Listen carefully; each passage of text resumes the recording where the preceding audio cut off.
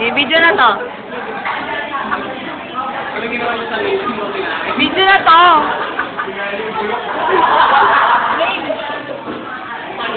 Happy birthday.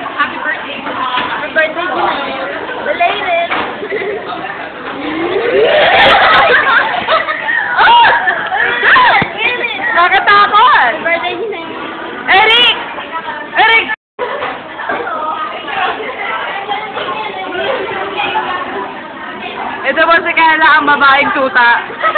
Ito si bibigyan ng tuta. Tuta.